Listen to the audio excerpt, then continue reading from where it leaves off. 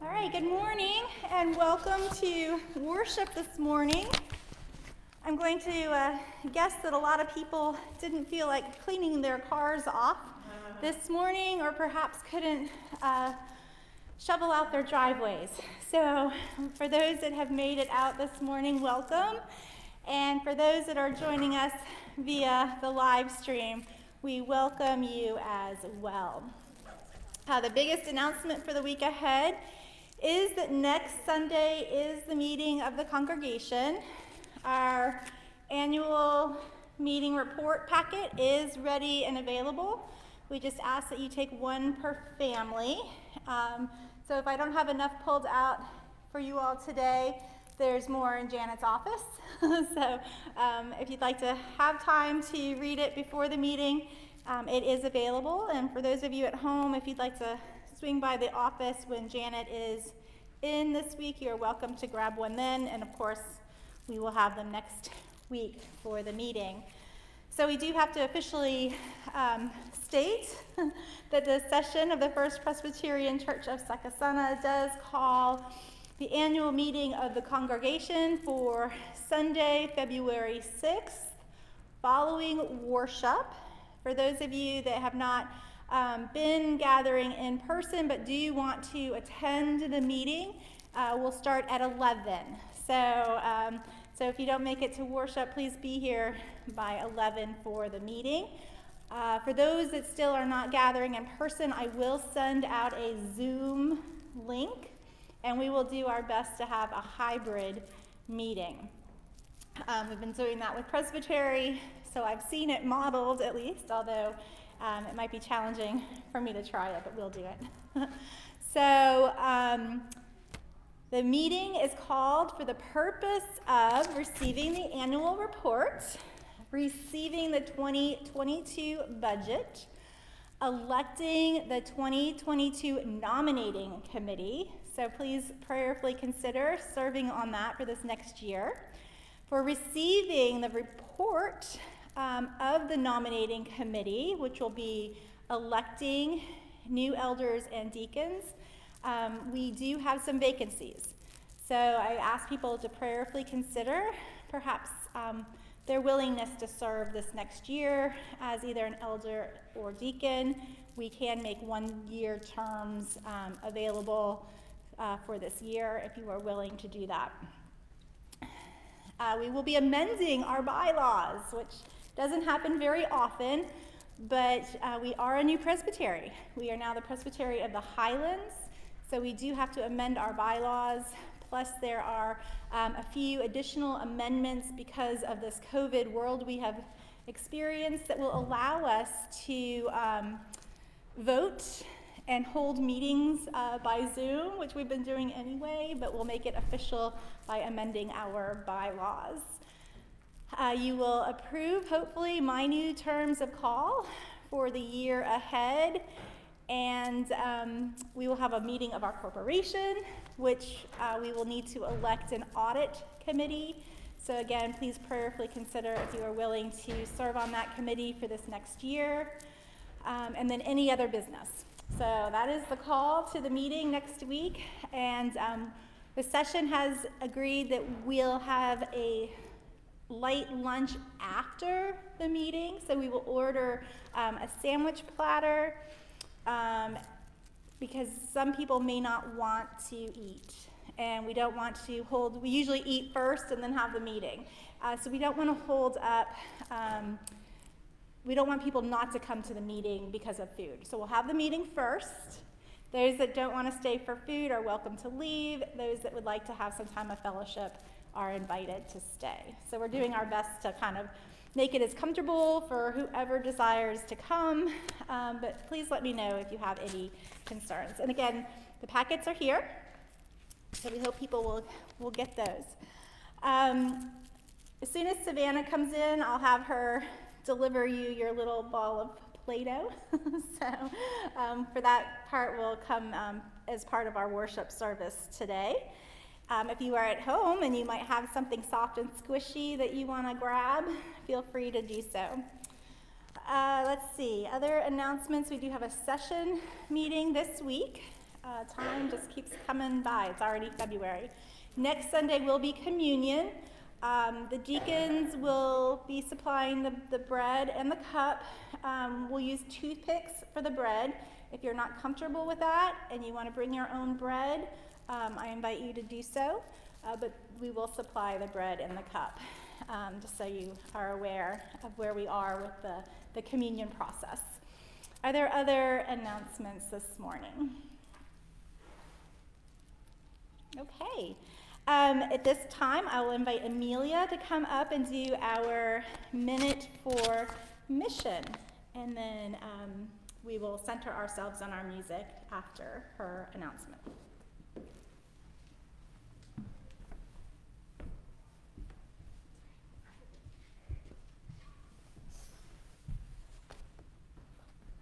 Good morning. Something very important is coming up in a couple of weeks. Does anyone know what it is? Super Bowl. Yes, it is the Super Bowl of Caring Sunday. For 18 years, the First Presbyterian Church of Succasunna has participated in the Super Bowl of Caring. This year is, a different, is different, and the Super Bowl of Caring understands that many groups are having a difficult time figuring out how to tackle hunger and the need is greater than ever with over 14 billion meals needed to feed our food insecure neighbors in Roxbury and in communities around the country. Here's how you can help fill the shelves at Roxbury Social Services and feed the hungry at the Faith Kitchen.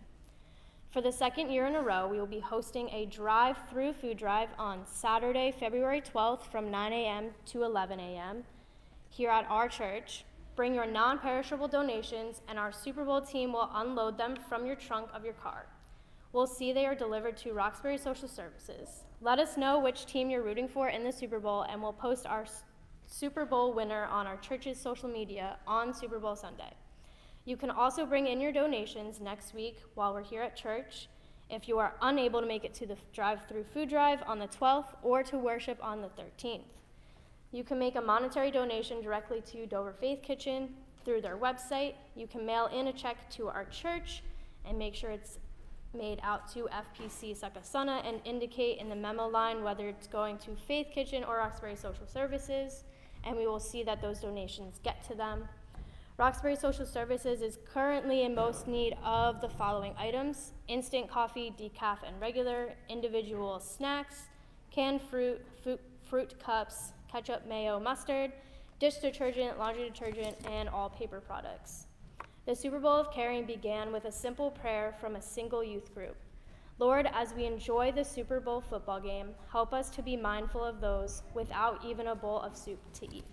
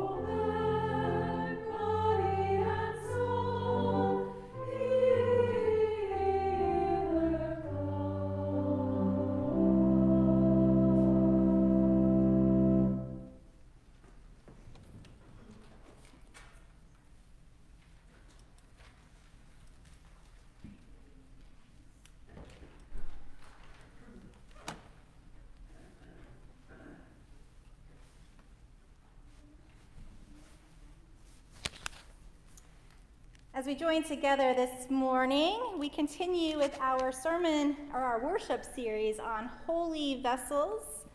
And our call to worship comes again from Marcia McFee's Worship Design Studios.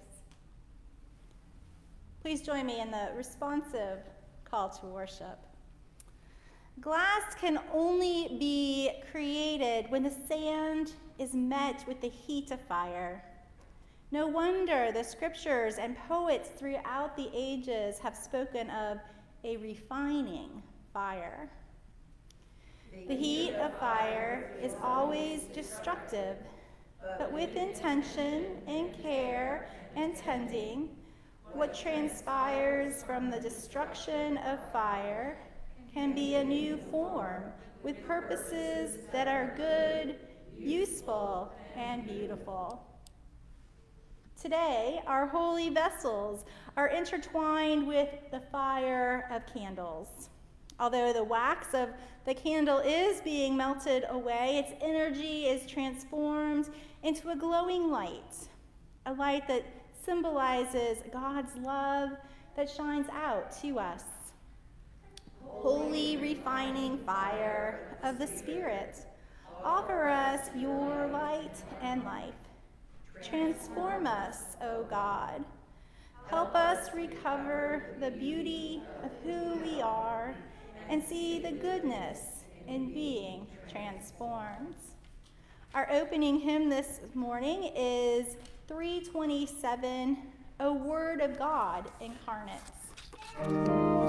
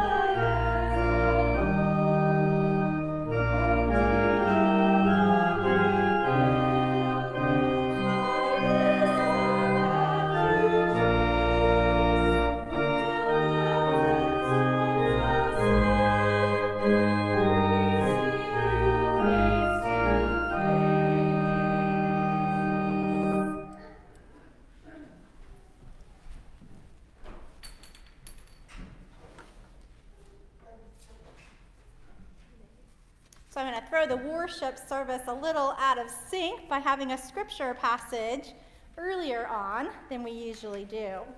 This passage comes from Jeremiah chapter 18, beginning with verse 1. The word that came to Jeremiah from the Lord Come, go down to the potter's house, and there I will let you hear my words. So I went down to the potter's house, and there he was working at his wheel. The vessel he was making of clay was spoiled in the potter's hands, and he reworked it into another vessel as seemed good to him. Then the word of the Lord came to me. Can I not do with you, O house of Israel, just as this potter has done, says the Lord? Just like the clay in the potter's hand, so are you in my hand, O house of Israel. Pick up a lump of clay and mold it in your hands. Oh, stop. Sorry. Um, I, am thrown off myself here, but um, I think the scripture ends there. Um, so pick up a lump of clay and mold it in your hands. so everybody should have their little piece of Play Doh. So we pick up a lump of clay and think about how we can mold it in our hands. And think about the creation of the world, the touch of God's hands on the very substance of the universe. So, as you change the appearance of the clay with the touch of your hands, think how the world you live in has touched and changed you. So, just like the, the, the potter in the scriptures of um, Jeremiah, right? We have our little piece of Play Doh, and the world around us has it touched and shaped you? Think of how your hands have touched other people, perhaps in love or anger, in sorrow and in joy. And think of the things and people who have touched your life and molded you into the person you are today. So I give you this little tactile. If you didn't grab one, we have more down here. You can bring it home with you this week and, and think about, um, hopefully by the end of the sermon, a little bit more about the way God has shaped and molded you, the way the world in which we live has shaped and molded you, the way your life has been shaped and molded by others, and how you, perhaps, through your being, have shaped and molded the lives of those around you. Our responsive hymn is Spirit of the Living God.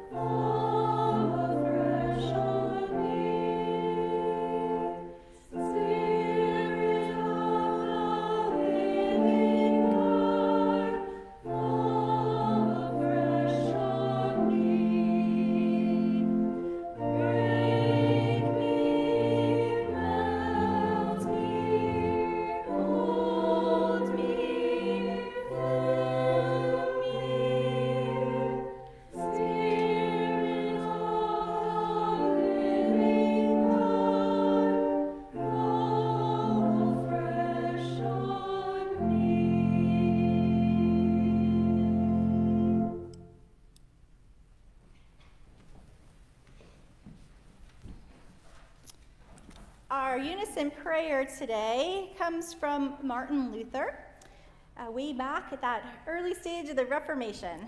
So let us join together. Look, Lord, on an empty vessel that needs to be filled. In faith, I am weak, strengthen me. In love, I am cold. Warm me and make me fervent so that my love may go out to my neighbor. I doubt and am unable to trust you completely. Lord, strengthen my faith and trust in you. You are all the treasure I possess. I am poor, you are rich, and you come to have mercy on the poor I am a sinner. You are goodness. From you I can receive goodness, but I can give you nothing. Therefore, I shall stay with you.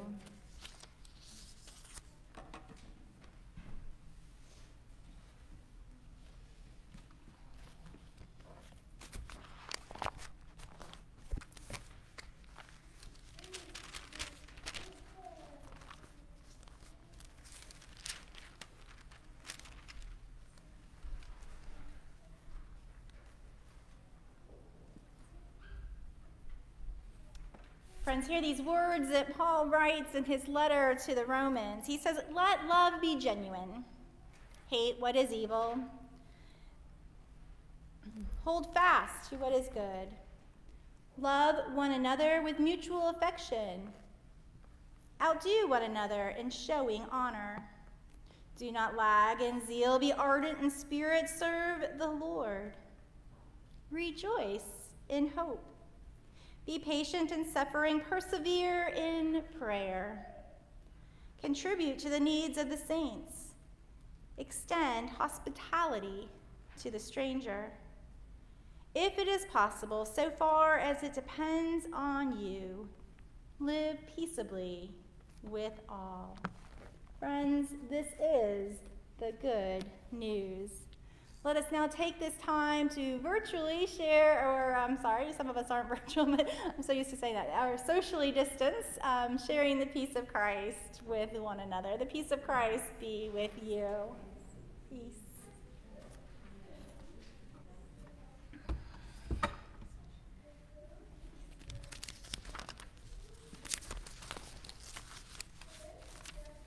So we're going to do um, a newer hymn to us. I'm not sure if we sung this one before. Do you know? Here's the tune before. We know the tune. Okay.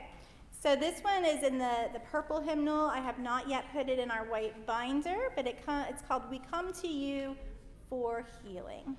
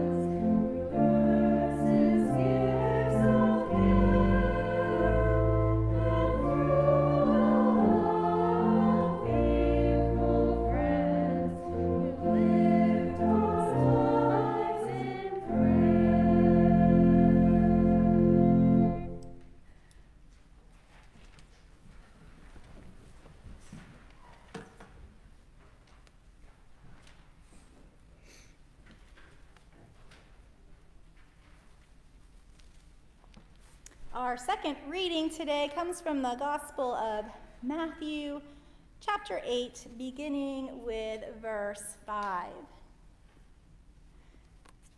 When he entered Capernaum, that is Jesus, a centurion came to him, appealing to him and saying, Lord, my servant is lying at home paralyzed in terrible distress. And he, that is Jesus, said to him, I will come and cure him.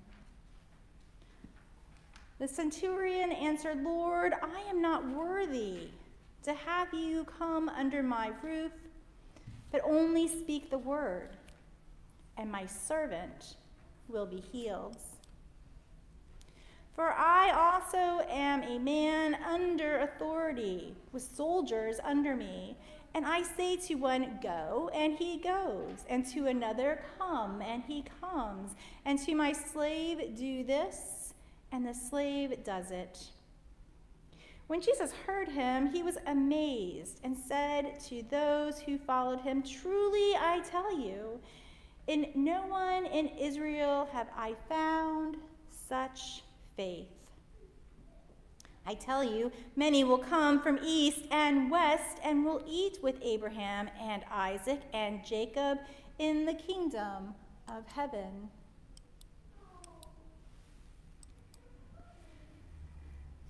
While the heirs of the kingdom will be thrown into the outer darkness, where there will be weeping and gnashing of teeth. And to the centurion, Jesus said, Go, let it be done for you according to your faith. And the servant was healed in that hour. This is the word of God for the people of God. Thanks be to God.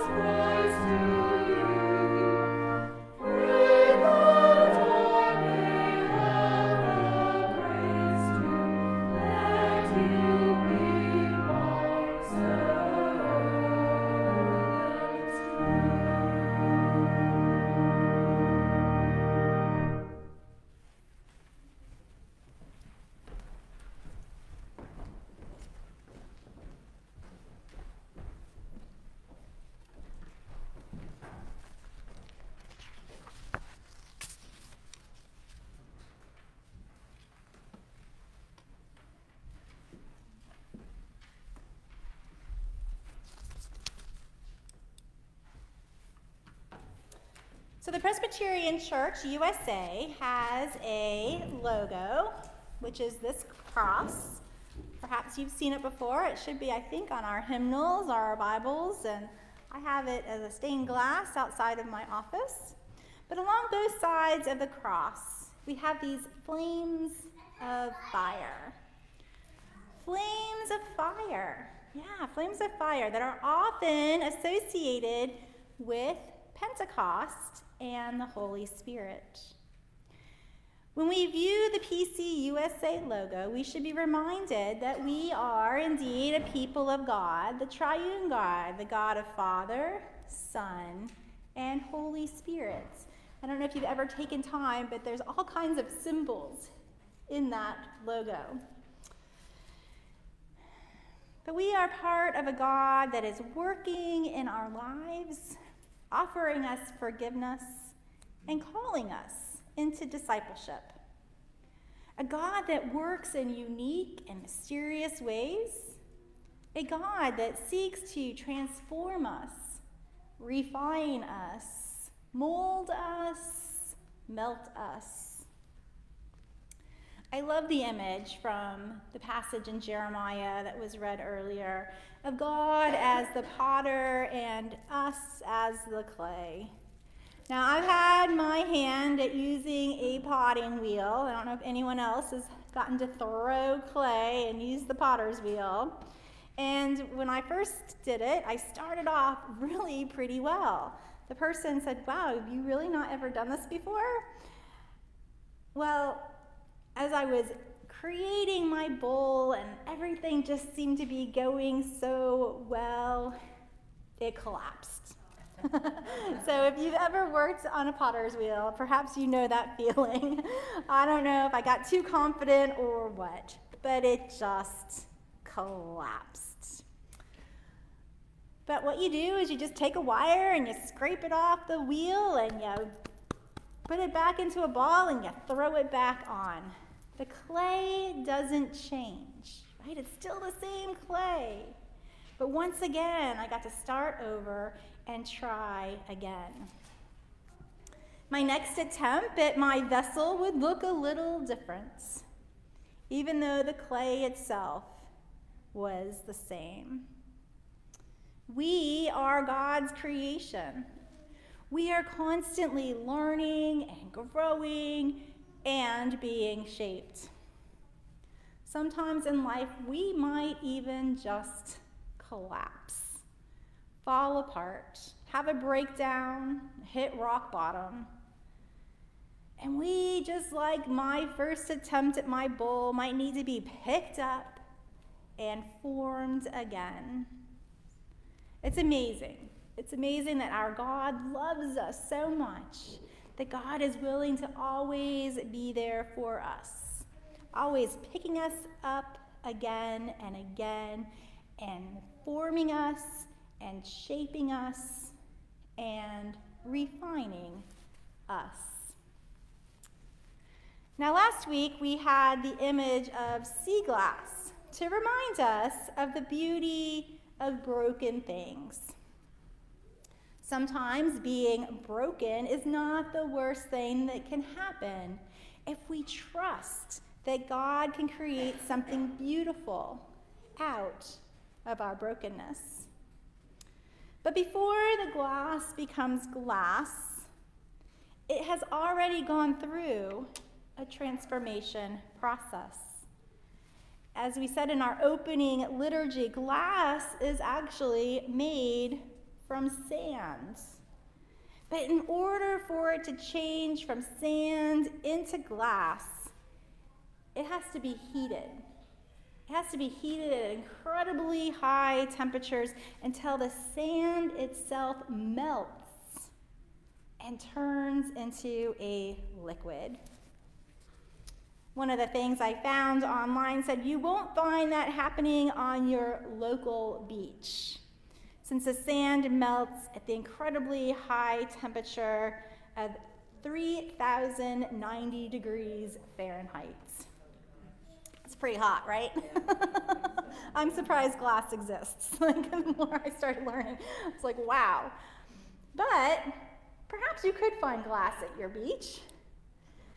There's a cute movie called Sweet Home Alabama. And although the movie is about a whole bunch of other things, there's a scene that involves what happens when lightning strikes the beach and creates a beautiful glass structure from the lightning hit melting the sand. So I'm not sure how well you can see this image, but it's of the lightning striking the sand and causing this incredible glass structure.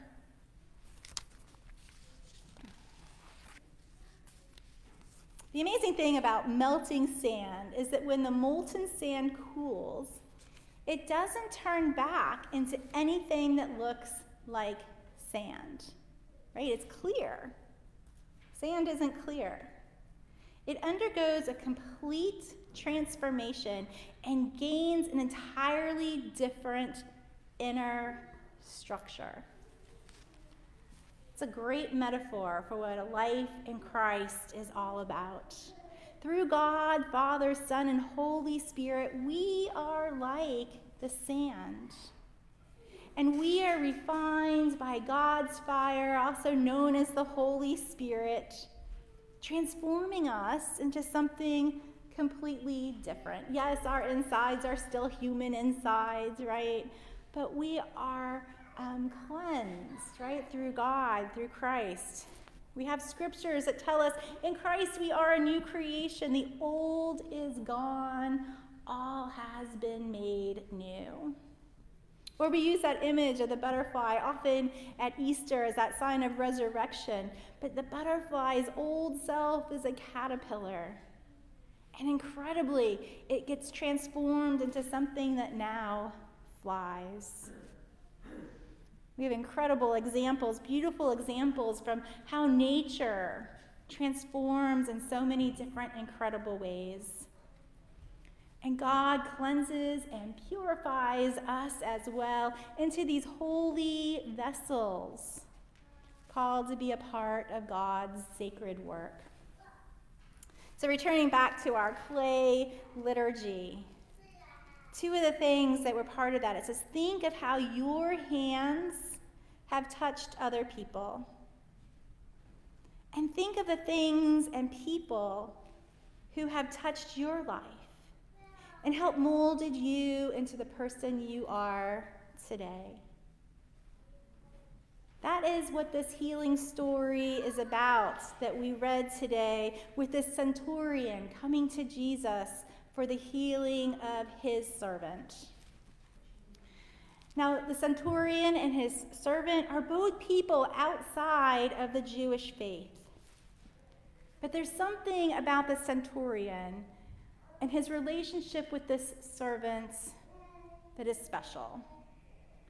The centurion cares deeply about his servant and is willing to do whatever it takes to have him healed. So he goes to this person, Jesus, this person that is, is not a Roman, is, is not a soldier, is not a doctor, but perhaps he's heard the stories and the rumors and the talk in the town about how Jesus is healing people. And he goes and asks Jesus not to heal himself, but to heal someone else. Now, last week in the story that we had, the person had leprosy, and he came to Jesus on, on his own behalf, asking for himself to be healed. So we've transitioned from someone asking for their own healing now to someone asking for the healing of another. And we do this every Sunday in our time of prayer. Right? When we ask about our joys and our concerns, we name those others in our lives and sometimes even for ourselves. The prayers that we desire for healing and wholeness. And we do this every week through our prayer chain. If you're not on that prayer chain and you want to be added, it's done through email. So it's easy to add you. Just let me know. But we reach out in prayer on behalf of our friends, of our loved ones. And we even pray for strangers, right? When we pray for those recovering from the tornadoes in the Midwest, or now for those from this blizzard, right? We're praying for complete and total strangers. So now think not perhaps of how your hands can mold or shape or impact the lives of someone else, but think about that as perhaps your prayers. How does our faith, our praying for other people, how has that touched the lives of those around us?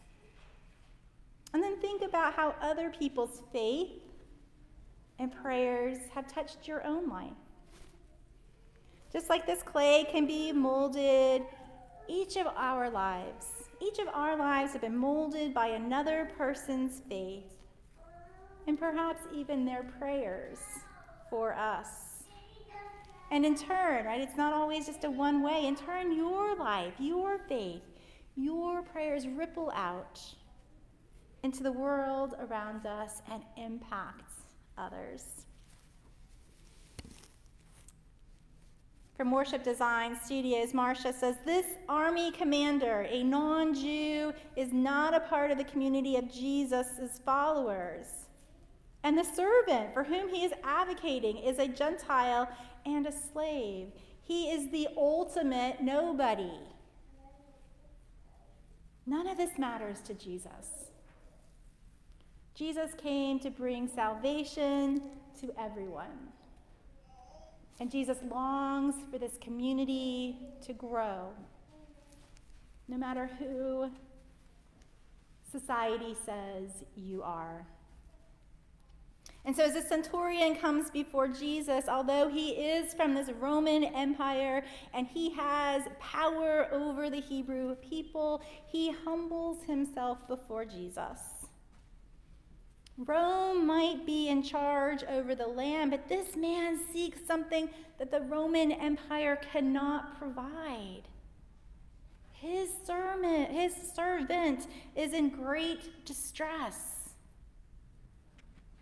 And the centurion has compassion for him. And so he seeks help. He seeks out Jesus, the one that perhaps he's heard can heal people. And Jesus responds that yes, indeed, he will heal the servants. The centurion confesses, Lord, I am not worthy. I am not worthy to have you come under my roof. What an interesting response from someone that has so much power and is a part of this empire. I am not worthy. But even if the centurion doesn't think he is worthy, he thinks his servant is, else he wouldn't have gone to Jesus to ask for the healing. That's an interesting humbleness, an interesting trait, an interesting understanding of, of what he's going on on his inner self. That his servant perhaps is more worthy than he feels he himself is deserving of. Jesus responds to this man by, by proclaiming he is a person of great faith. Jesus hasn't seen any other faith like this in all of Israel, he says. Is that because he believes Jesus can heal his servant? But not just heal him, that Jesus can heal him from afar, right? Don't even go near my house, just do it from here. I know you can. In some of our healing stories, right, Jesus touches the person. Jesus says something directly to the person, right? Jesus will say, stand up and walk, but not in this story. It all happens from afar. And it's interesting because the servant then is healed without encountering Jesus in person. We often think of how we have to come to God, how we have to come to Jesus in order for that healing to happen. But this servant doesn't have that same encounter. His encounter is only through the intercession of another, through the intercession of that centurion. Does God's grace work that way? We so often focus on our own faith, our own connection to God, our own discipleship, but can someone else's faith draw God to us? Can someone else's faith bring us healing? I think that's what this passage challenges us to think about, to ask us to consider, to ponder, and to reflect upon.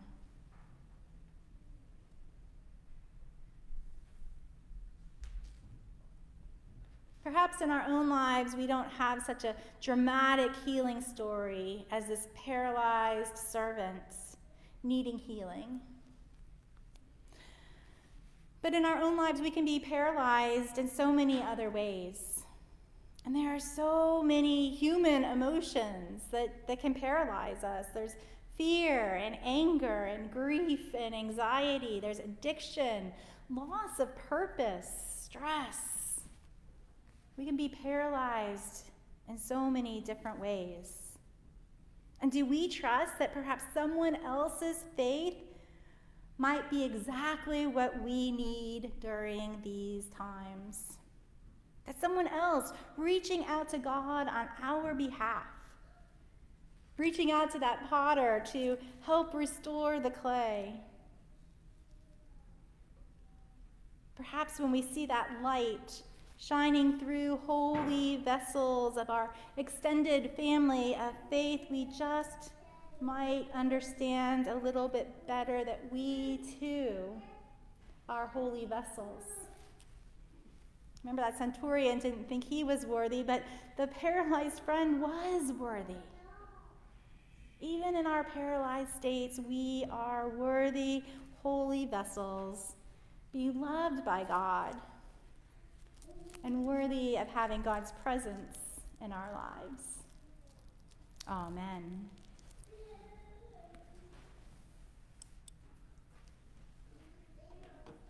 And so at this time, we will come with our intercessions and lift up to one another if we have any joys or, or concerns this day. Are there prayers that we wish to share?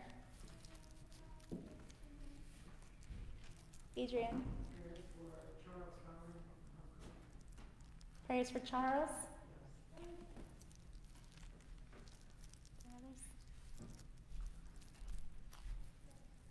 We'll continue to, uh, as I mentioned earlier, the, just those, those that got encountered by this big storm um, that might be without power on these frigid, cold days.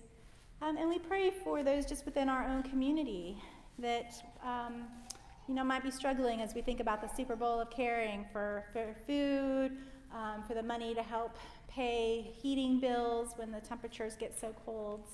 Um, perhaps for church members that aren't able to gather with us here today. We hold them all in prayer. Let us pray. Gracious and loving God, on this cold, snowy morning, we give you thanks for the ability to gather as your people. Whether we are here in person or gathering with our modern technology, perhaps even connecting later in the day or later in the week. We give you thanks for the creativity of uh, Marcia McFee and her visual inspiration of what it means to be holy vessels. That each and every one of us contains something special from you, and you call us to share that with the world's reminds us that sometimes that refining process of the fire is not always easy. But that when we look at it with faith and trust, perhaps we can see some beauty on the other side. Loving God, we just continue to pray for one another, for those that are continuing cancer treatments or uh, treatments for other infirmities, for those that are uh, waiting to have surgery or are recovering and going through physical therapy.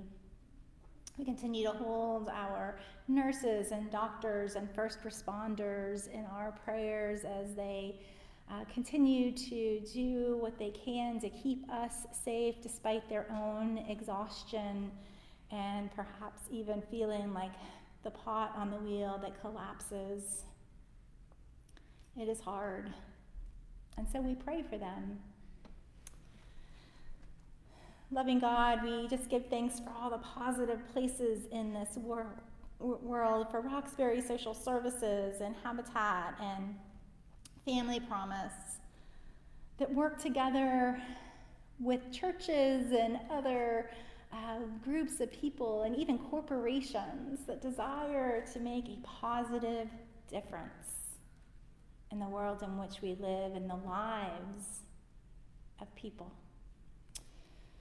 So bless this time as we um, center ourselves in your presence and, and ponder what it means to be your people. And now let us unite our voices together as we pray what Jesus taught us to pray.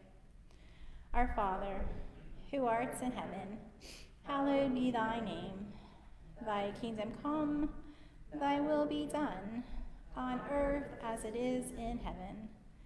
Give us this day our daily bread and forgive us our debts, as we forgive our debtors. And lead us not into temptation, but deliver us from evil. For thine is the kingdom, and the power, and the glory forever. Amen.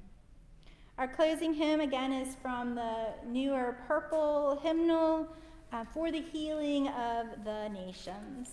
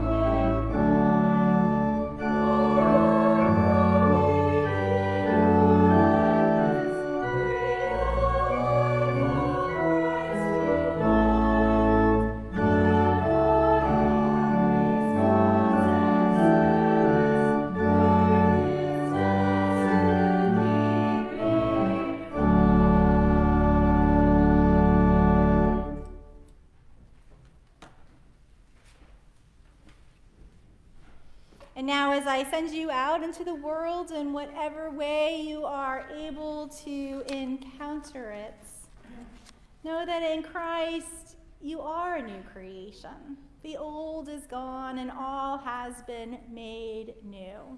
And even on those days where we just feel like collapsing, know that we are truly in God's hands and that God holds us and sustains us and keeps us together. So now may the grace and peace of God the Father Almighty, the reconciliation of the Son, and the guidance of the Holy Spirit be upon each and every one, now and forever. Amen.